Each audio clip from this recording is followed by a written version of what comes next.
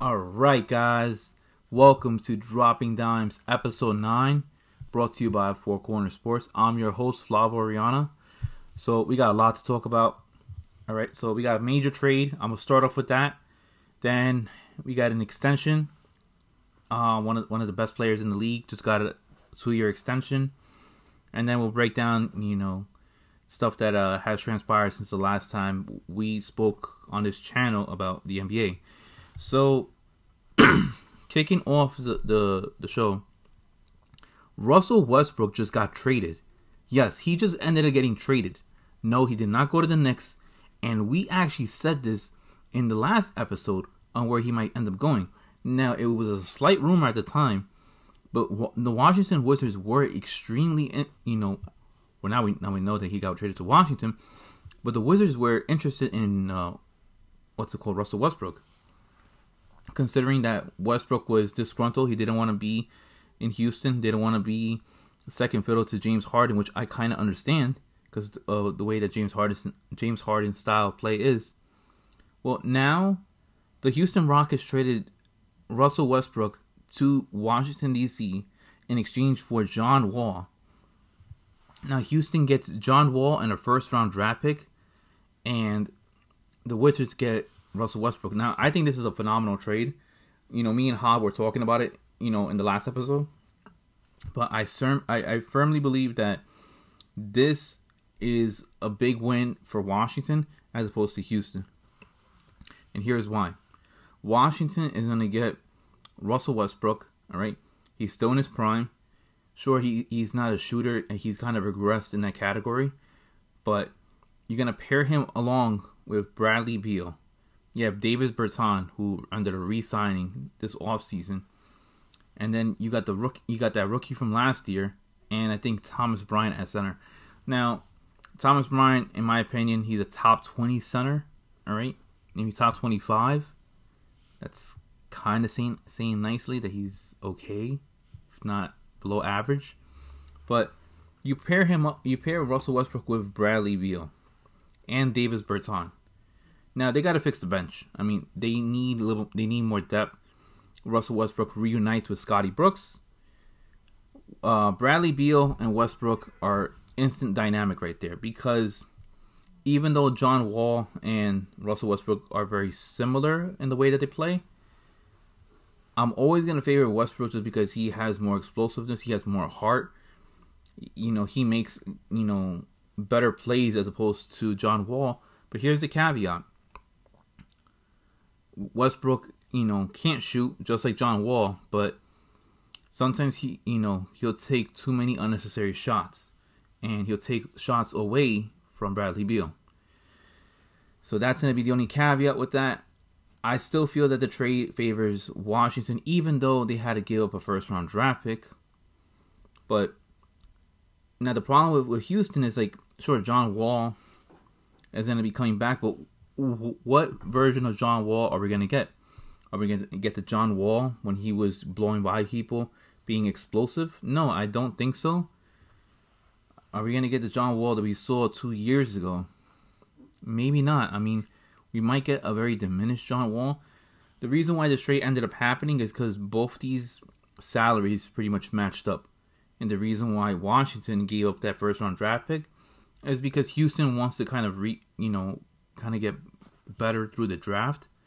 They have James Harden there, and with those two max contracts, they're not going to be able to get you know a really good player through the through free agency. Now John Wall come goes to Houston. This is going to be the first time he plays for a, different team. This will be Westbrook's uh what's it called third team. Played for Houston one year. The year before that he played for OKC. You know, from the start of his career up until that point.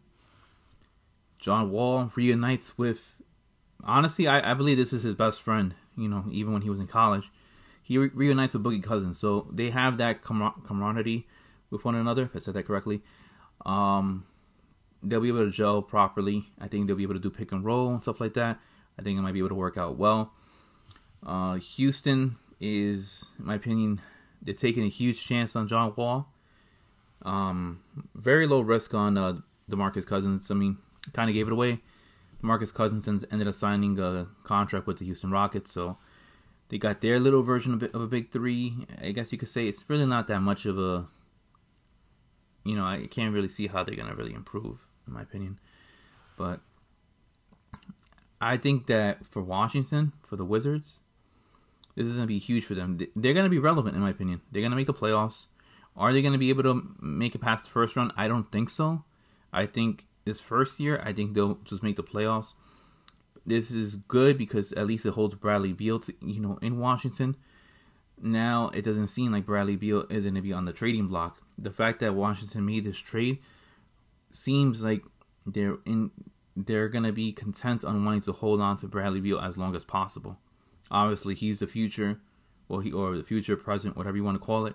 They want to build around him. Having Russell Westbrook, you know, be a floor general getting Bradley Beal open shots. I think that's going to be very, very key. Bradley Beal might be able to have a higher three point percentage. Maybe, most likely, his uh, points per game is in a decrease. It's only, it's only, you know, what's it called? Uh, it's only likely considering that you have that that figure that is Russell Westbrook. He's probably going to end up scoring you about 20 plus points a game. So maybe Bradley Beal might average anywhere between give or take like 25 to 27 points. Westbrook with 20 plus, and then you have Davis Bertans probably scoring you anywhere between 15 to I would no I would say about like 13 to 16 points a game. That's what it's gonna really come down to for their victory. As for Houston, I mean, it's still gonna be the James Harden show. I mean, we don't know what's gonna happen with uh with John Wall. Remember, he tore his Achilles, not Achilles, Achilles, his Achilles. You also have uh, Demarcus Cousins with recovering from a torn ACL. So th- I don't know what's going to happen with Houston. Houston, in my opinion, you know, the West is getting better. It's getting deeper. You know, especially with uh, CP3 getting traded to to uh, the Suns. I don't. Who knows? Who knows if uh, Houston even makes the the playoffs this year? I mean, that sounds like extreme, but it, it is a strong possibility. Uh, moving on. So yeah, but let me close out that last statement with uh with that trade. We'll see what happens for uh, this year. I think short term, we're gonna see Washington, you know, win this trade. But overall, I want to see you know, in the next like three to five years how that first round draft pick is gonna you know hold up. If Houston gets some somebody really really big throughout that draft, you due to Washington's pick, then obviously Houston ends up winning that that trade. But until then, as of right now, the Wizards ended up winning the trade. That's just my opinion. Uh, moving on. So I told you that some a superstar ended up getting a max extension, and he is arguably, if not the best player in the world right now, LeBron James. Yes, LeBron James just got an extension. He is staying with the Lakers. He got a two-year extension for eighty-five million dollars a year. I mean, eighty-five million dollars. Uh, so yes, you will see LeBron James for the next three years in a Lakers uniform. Now, people are saying that he signed a two-year extension because he is wanting to line up on where his son might be able to play once he gets drafted. It is possible. It's very possible. I mean, he's spoken about it publicly that he would love to play with his son. Do I see something like that happening? It, yeah, maybe. More than likely, yeah. I mean, we we kind of have a feeling that um, what's it called? Bronny's gonna be most likely a, a first round draft pick. Where in that first round draft pick, I have no idea. He's still growing. He's still filling into his body. I mean, he has a nice jump shot. I mean, we'll see what happens. I mean, we're still you know years away from that happening. But as for LeBron, LeBron James, I, I, I like the fact that he's staying. You know, now we have clarity that look, he's going to be here for the next three years. What was what's going to happen next with the Lakers, which is uh, we kind of have an idea that Anthony Davis is going to resign with the Lakers, right? Can't see him going to the Windy City. We can't see him going to Chicago. If he goes to Chicago, it's to blow my mind. It's crazy to think because look, the NBA NBA season is going to start in about what three weeks. We're already on December first by now, when you guys see this, it's going to be December 2nd. But, let's see. Yeah, no, I, I can't see Anthony Anthony Davis going towards uh, any other team outside of the Lakers. Anthony Davis just signed that contract, man. Whether it's two years, three years, four years, just sign the contract already. I mean, and the season kicks off on the twenty second. But anyways, um, the LeBron ends up signing that extension, so now the Lakers, you know, have an idea that he's gonna be there. It, I think it helped out a lot that the Lakers won this title because you know if the if he didn't, if the Lakers and LeBron did not win that title, who knows if if uh, LeBron James signs that extension? Who knows? And also, if he didn't sign that extension, all year long we were going to be hearing from the media, LeBron, what are you going to do? Are you going to opt in see a player option or are you going to opt out? We're going to hear that all year long. Now that he signs, we don't have to deal with that. We don't have to deal with that question. I know people like dealing with the with the unknown, whether he's gonna do this, whether he's gonna do that. LeBron, you know, everybody talks about LeBron on an everyday basis. You're gonna hear it from us too, just because he's that much of a big figure. But LeBron James, yes, he signed that extension. I think the Lakers are gonna be in title contention for the next, yeah, for as long as LeBron is gonna be in a Lakers uniform. I I know Father Time isn't eventually catch up to him because Father Time is undefeated. But I, I see that this level of LeBron James is good for at least another two more years. Into that last year, year of his contract with the Lakers, he's gonna be still good, you know, good enough to make an All Star team, but he's still not gonna. I, I don't think that he will be like best best in the world. I would say he's he's gonna be in the in the definitely in the top five, definitely in the top five. But maybe that last year of that Laker contract, he's not he's not gonna be in the top three. All right. Um. In other words, in, in, in other news, we ended up getting um news from the NBA.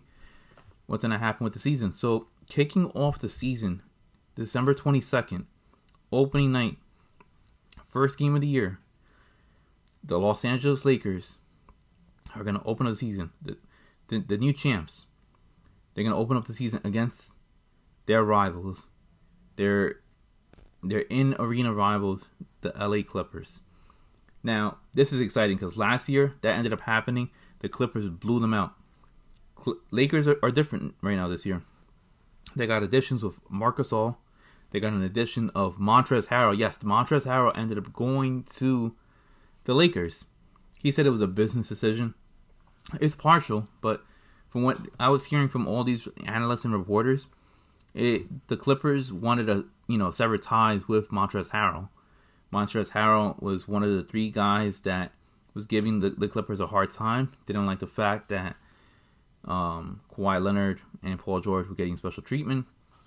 My opinion on to that, I kind of agree with Montrezl Harrell. Look, Kawhi Leonard is no LeBron James. He was was wanting to get that type of treatment ever since he won that second ti- his second title when he won when he ended up delivering the Raptors their only title in franchise history. He kind of um, been acting different, like as if he's like entitled to certain things. I agree with Montrezl Harrell. I think you know everybody should be able to show up to practice. This load management kind of killed, in my opinion, the the Clippers season. But uh, he said it was a business decision. I think it's half true. Um, he got offered um, what was it, like an eighty million dollar contract with Charlotte, but clearly he showed that money wasn't you know the be all and end all things he ended up signing a very short term contract. I think it was like what two years, nine million dollars, a huge bargain compared to what Charlotte was offering him. Maybe he didn't want to go to Charlotte because he wanted to be, and when he said, you know, what's it called? He didn't want to be playing for that um the Charlotte franchise, but clearly he wants to get a ring. He's been dying to get a ring. Goes with with with uh, the Lakers. Lakers improved. Um, they ended up trading uh JaVale McGee, I think, to the Cavs, if I'm not mistaken. And uh, yeah, I told you they got Marc Gasol, they got Dennis Schroeder, they got him in a trade. Um, it was a trade between Danny Green and Dennis Schroeder, sending Dennis Schroeder towards OKC, and then OKC ended up uh, trading him towards Philly. So Danny Green's officially in Philly. Um, Rondo is in Atlanta, so the whole the whole Lakers team is a little bit different now, and also Dwight Howard is in Philly too, joining uh, Danny Green. But now with this Lakers squad a little bit different, it actually looks better in my opinion. I mean, you have what's it called, Montrezl Harrell. You have um, Marc Gasol, who's an excellent passer. I mean, this guy can play make too. You have Dennis Schroeder, who can be honestly he, he can start for them. I mean, LeBron doesn't need to be a point guard, um, be a primary ball handler, or you could put Dennis Schroeder, you know, you know, leading the second unit. Who knows? I mean, the Lakers have tons of options to do, you know, play with. So uh, right there, you, you really upgraded, you know, immensely. And then obviously you still have LeBron James. You have Kyle Kuzma, which I'm surprised they, they did not trade at all. Um, they brought back up what's it called, Markieff Morris. Anthony Davis is, is, expected to sign that contract, so Anthony Davis is going to still be on that team. So it's interesting, you know, how the Lakers squad actually improved from last year, considering that they ended up winning the title. And with the Clippers, I don't know. I think the Clippers ended, ended up bombing free agency. They lost Montrezl Harrell to the Lakers. Um, they're thinking they're still thinking about uh, severing ties with Lou Williams by trading him. I don't know who's going to be able to take that. And hearing that there's rumors that they want to trade Lou Williams for Terry Rozier. I don't know why would you do that. I mean, Lou Williams, in my opinion, is one of the best ever to come off the bench. I mean, the amount of scoring that this guy does, you can't unmatch that. The only thing I'm thinking of is just that his defense is not that great. But I don't think Michael Jordan wants to trade trade Terry Rozier. Terry Rozier is one of Michael Jordan's favorites. But anyways, um, you I feel like they bombed free agency. I mean, the only thing that they ended up upgrading, in my opinion, is they upgraded from Montrezl Harrell and they got Serge Ibaka. I mean, Serge Ibaka, he could hit you a three. You know, he's good at the mid range. He could he could block. I mean, that's why they ended up calling him OKC E blocker. And uh, that's gonna be the first game uh, to start off the year. I mean, I right right now I already favor the Lakers. The way that that this these current rosters are being constructed, I got the Lakers winning by at least nine points. I got them winning plus nine at, at this rate, and then going into that second game and that doubleheader of opening night, you got the return of Kevin Durant, and, and you know first time playing with the Brooklyn Nets, teaming up with his best friend Kyrie to take on his former team, the Golden State Warriors. Now, this would be, in my opinion, a huge game if Klay Thompson did not get hurt. I would have loved to see how that was gonna go through. I would have loved it, but you got to work what you get for. I mean, now you're gonna get the you're gonna see James Wiseman from what's it called, the Warriors, make his debut. Steph hasn't played since um, he ended up uh, hurting his wrist. You're gonna have um, Andrew Wiggins on that squad. You're gonna have what's his name? They ended up trading for him. Played for the Suns. I I I can't remember his name. I'm not I'm not gonna call him by his nickname. His, his nickname, in my opinion, is dumb. But you have the Warriors versus the Nets. That should be a good matchup. It just sucks that we ended up uh, losing out on Klay Thompson. Klay Thompson would have been great. We would have been able to see, you know, the how the Warriors were going to gel and mesh. But, you know, we have Nets and uh, Warriors. And then we also have the Christmas Day schedule uh, released. I'm to look over here on so I can show you guys. So Christmas Day schedule is released. Um, where is it? Yeah, so we got one, two, three, four, five. So five games on Christmas Day. So we got something to to look at on Christmas Day. Starting off is to be Pelicans at Heat. The yes, the New Orleans Pelicans are going towards Miami to face the Miami Heat. Zion Williamson and the Pelicans are going to go face Jimmy Butler and Bam Adebayo and the Miami Heat. That should be a good one to start off Christmas Day at 12 o'clock. Going at 2:30 Steph and the Warriors are gonna go to Milwaukee and face Giannis and the Bucks. Oof. I mean, can't you know? Will Giannis be facing his possibly new team in the future? I mean, look, the Warriors they're um they're known to swing hard in free agency. Maybe they make a run for Giannis in the offseason. Who knows? That's if Giannis doesn't sign that, that Supermax. And then at five o'clock, you got the the Brooklyn Nets going to Boston facing the Boston Celtics. That should be good. I like that matchup a lot. Jayson Tatum is a star in my opinion, on the verge of becoming a superstar. Same thing with Jaylen Brown. You also got Marcus Smart still there, and then you and then you get having to face Kyrie and KD. Oof, Oof, that's gonna be good. That's gonna be good for Christmas Day. And then um, eight o'clock, you got the Mavericks, Luka Doncic and uh, Kristaps Porzingis versus LeBron James and the LA Lakers. That should be a really good one. And then lastly, to cap it off, the Clippers might be able to get their revenge. They're they're at the 10:30 slot. The LA Clippers are facing the Denver Nuggets. Clippers ended up blowing a 3-1 lead. Yes, they ended up blowing a 3-1 lead. I will say it again. The Clippers ended up blowing a 3-1 lead to the Denver Nuggets. So will Paul George and Kawhi Leonard, you know, get their revenge on Christmas Day against the Denver Nuggets? Who knows? Who knows? I mean, Denver looks good. Denver Denver looked pretty good in the playoffs. I mean, you saw an ascending Michael Porter Jr. You saw how great Jamal Murray ended up looking in, in those playoffs. Same thing with, with Jokic. Jokic never disappoints at all. So I'm very, very excited to see how this this Christmas Day is, is gonna look upon. It's not feeling whatsoever. I'm very excited. And then lastly, to close things out, I mean, um, just like small news. Uh, Clippers ended up waiving uh, Joakim Noah, so it's most likely hinting that this is going to be the last we ever see Joakim Noah. Joakim Noah was very famous for playing on, on the Chicago Bulls.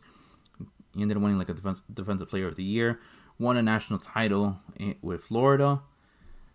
And as for that, also, um, LeVar Ball must, be really, really excited just because of the fact that all three Ball brothers are officially in the NBA. Yes, LiAngelo Ball is with is with the Lakers. You got LaMelo Ball in Charlotte, and then you got Lonzo with the Pelicans. Wow, I mean, three brothers in the NBA. I think last time we seen something like that was uh, the Plumlee brothers. But yeah, I mean, you you can't really say much. I mean, that's credit to LeVar Ball. I mean, for whatever you want to think of him, credit to LeVar Ball. Got all three brothers in the NBA. That's pretty remarkable in my opinion. But until then, guys, look, that's gonna cover everything for dropping dimes. Hav, you know, Hav is most likely gonna be able to come into the shows in January. It's been really, really tight, really, really busy. But until then, I'll be covering the shows. All right, guys. So I will talk to you guys later. Until then, peace, guys. Have a good one.